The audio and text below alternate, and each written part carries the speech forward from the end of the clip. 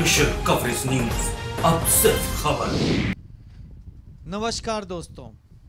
जब भी हम कोई समाचार पत्र उठाते हैं या कहीं भी सड़क से गुजरते हैं तो हमें कहीं बड़े बड़े होर्डिंग्स नज़र आते हैं और समाचार पत्र तो अक्सर ही इस प्रकार के विज्ञापनों से भरे रहते हैं कि यदि आपको कोई समस्या है तो शर्माएँ नहीं, हमें बताएँ। संकोच ना करें, हमें बताएँ। ये ऐड ज़्यादातर मनुष्य की सेक्स समस्याओं से लेकर के संबंधित होते हैं जिसमें लिखा होता है कि यदि आपको कोई सेक्स समस्या है तो हमारे सेक्स विशेषज्ञ या सेक्सोलॉजिस्ट गुप्त वि, रोग विशेषज्ञ इस प्रकार के ऐड हम अक्सर देखते हैं। आज हम आपके साथ स्पेशल कवरेज न्यूज़ के खास मुलाकात प्रोग्राम में मुलाकात करा रहे हैं इंदिरापुरम के बड़े स्पेशलिस्ट सुपर स्पेशलिस्ट डॉक्टर जो यूरोलॉजिस्ट हैं एंड्रोलॉजिस्ट हैं डॉक्टर संजय गर्ग से। उनसे हम आज जानेंगे कि ये वाकई सेक्सोलॉजिस्ट क्या होते हैं और सेक्स समस्याएँ क्या होती हैं और सेक्स समस्याओं को लेकर के समाज में जो भ्रांतियाँ हैं, उनका क्या निदान होना चाहिए। हाल के ही दिनों में एक बहुत चर्चित पिक्चर आई पैडमैन जिसमें अक्षय कुमार अभिनीत बहुत पसंद की गई और उसमें खुल करके चर्चा हुई स्त्रियों के पीरियड्स को लेकर के, माहवारी को लेकर के कि उनकी ये समस्याएँ क्या है और उसका क्या निदान होना चाहिए। इसी प्रकार से पुरुषों की भी बहुत निजी समस्याएँ होती हैं, जिसका समाज में खुल करके चर्चा नहीं होती है। क्या उनकी चर्चा होनी चाहिए? जैसे हस्तमैथुन इत्यादि। और जो रोग होते हैं, जिन्हें गुप्त रोग कहा जाता है, क्या इसको सेक्सोलॉजिस्ट ठीक करते हैं या कोई और? कई बार इनकी चर्चा ना होने से समाज में भ्रांतियाँ फैलती हैं और इसका फ़ायदा उठाते हैं कई झोला छाप डॉक्टर। क्या इनके लिए झोला छाप डॉक्टर या नीम हकीम के पास जाना चाहिए या डॉक्टर के पास जाना? चाहिए इन सभी बातों की हम चर्चा करेंगे आज super specialist doctor Sanjay Garg से। डॉक्टर साहब आपका प्रोग्राम में स्वागत है। आ, जैसे कि मैंने अभी जो बात रखी इस बारे में आज हम आपसे खुलकर चर्चा करना चाहेंगे। सबसे पहले हम ये जानना चाहेंगे कि यूरोलॉजिस्ट क्या होते हैं और उसके क्या काम होते हैं सरल भाषा में और एंड्रोलॉजिस्ट क्या काम करते हैं? नमस्कार धन्यवाद पुनीत जी। आ, ये मैं आपका आभार प्रकट प्रकट करना चाहूँगा कि आपने हमें ये मौका दिया जनता तक पहुँचने का और बताने का कि बताने का कि ये जो समस्या आप बता रहे हैं सेक्स संबंधित समस्या जिसको लोग ज़्यादातर एक पर्दे के पीछे रखते हैं है क्या और कैसे इसका ट्रीटमेंट करना चाहिए? जैसे आपने कहा कि हमारा एक यूरोलॉजी और एंड्रोलॉजी ये क्या है? ये विज्ञान जेनाटो यूरिनी डिज़ीज़ से संबंधित है। जेनाटो यूरिन डिज़ीज़ मतलब हमारी मूत्र विशेषज्ञ, मूत्र से संबंधित सारी समस्याएँ एवं आदमियों में सेक्स संबंधित जितनी भी दिक्कत होती है, उनको हम देखते हैं। एंड्रोलॉजी शब्द का मतलब ही होता है सेक्स संबंधित बीमारियों के देखना। सेक्सोलॉजी टर्म एक इंग्लिश का तो ज़रूर एक एक शब्द कह सकते हो, लेकिन मेडिकल लिटरेचर में इसका एक्चुअल मतलब होता है एंड्रोलॉजी से, जो आदमियों की सेक्स संबंधित समस्याओं के बारे में डील करना। अब होता क्या है कि जैसे आपने बहुत सही बताया कि पैटमैन पिक्चर आई तो उसमें एक जागरूकता होती है। जो लेडीज़ हैं, वो डिस्कस कर पा रही हैं या बता पा रही हैं, उनकी एक जो पीरियड से रिलेटेड समस्याएँ थी या समस्या ना भी बोलें तो जो भी इफ़ेक्ट थे, उनको जो ज़रूरतें थे उनकी, जो अभी तक सब दबी रहती थी। इसी तरह होता क्या है, आदमी भी, आदमी इससे अभिन्न नहीं है, वो भी बहुत शर्माता है।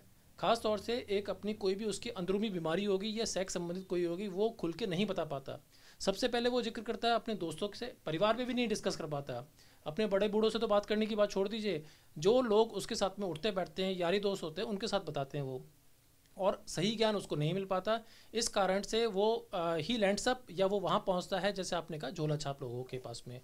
वो इस कमज़ोरी का या इस आदमी की शर्म का फ़ायदा उठाया जाता है। और उनका जो इलाज होता है बिना किसी साइंटिफिक प्रूफ के बिना किसी तह तक पहुँचे हुए उनको जो भी दवाई दी जाती है जिस तरह से इलाज होता है उस बारे में तो मैं खुद नहीं जानता ना ये बात, बात करेंगे हम।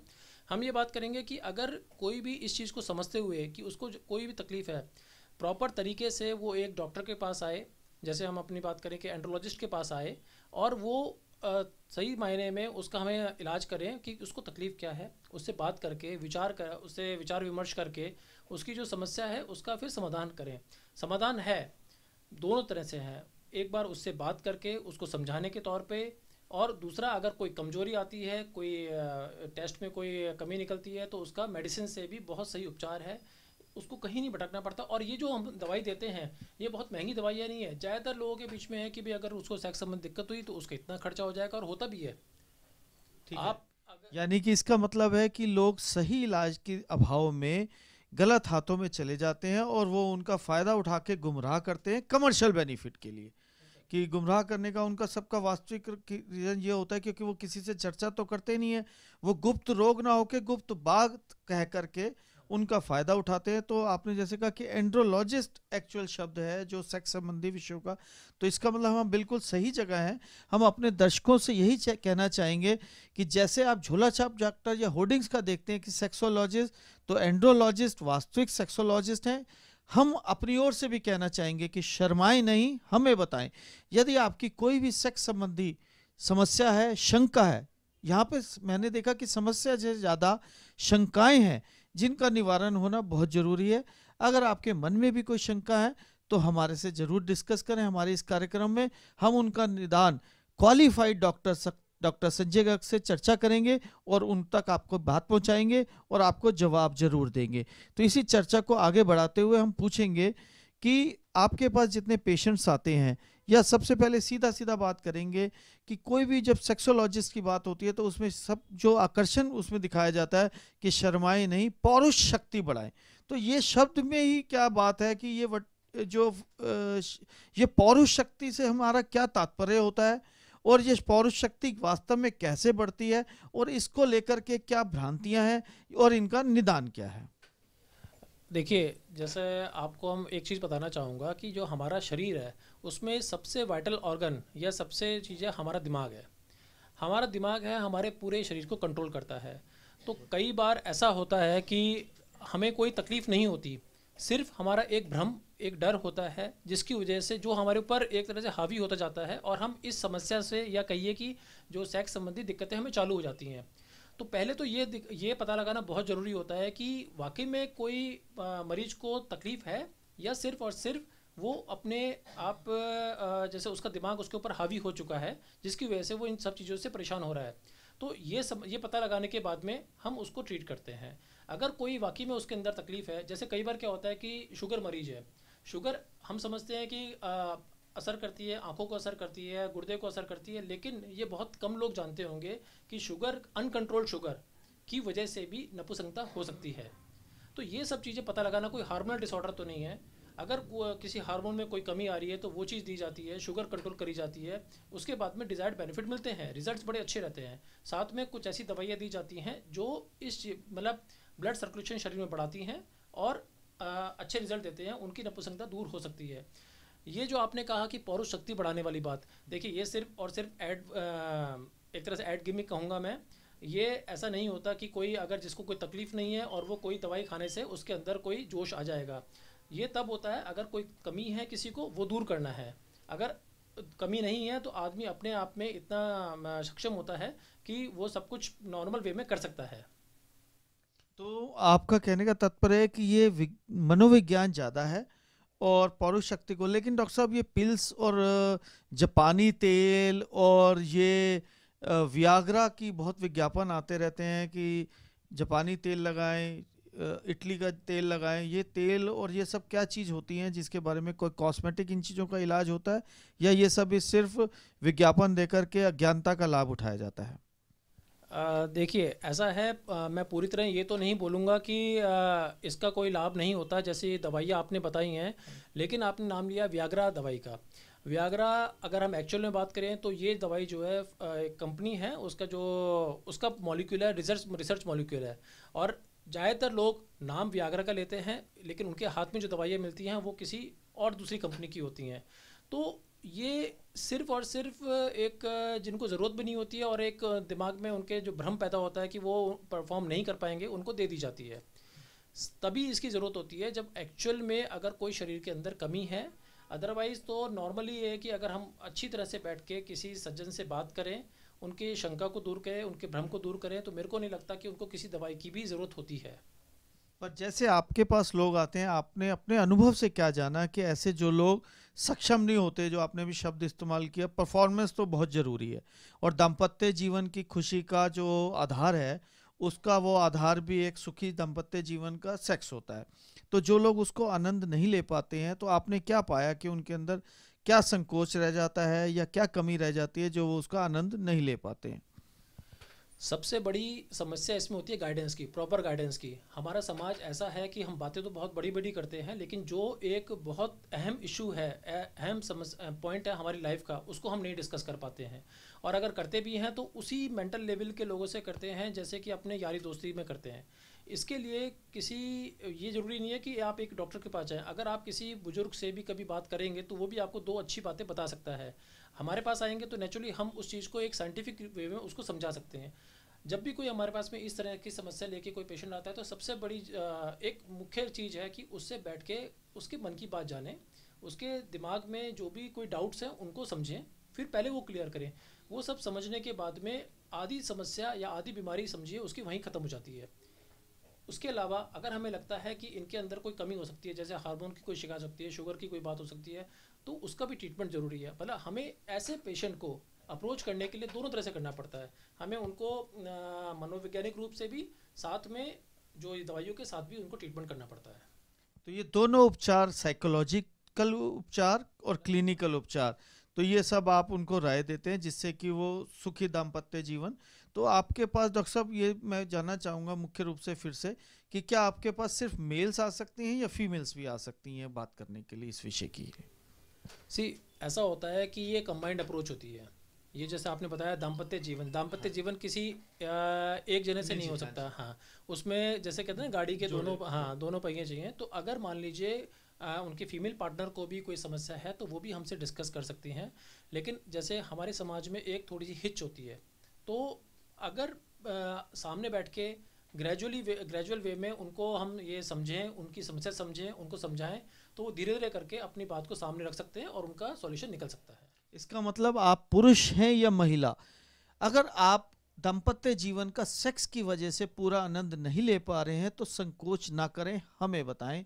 हमारे पास आएँ हमारे चैनल से बात करें हम आपकी इस प्रकार की चीज़ों को क्वालिफाइड अगेन मैं रिपीट कर रहा हूँ कि जो वास्तविक सेक्सोलॉजिस्ट हैं एंड्रोलॉजिस्ट हैं डॉक्टर क्वालिफाइड जो हैं डॉक्टर संजय गर्ग, उन तक पहुंचाएँगे, उनका ऑनलाइन भी निदान करेंगे, आप इनसे निजी रूप से भी संपर्क कर सकते हैं और सेक्स की कोई भी समस्या हो तो उसका निदान आपका हो सकता है।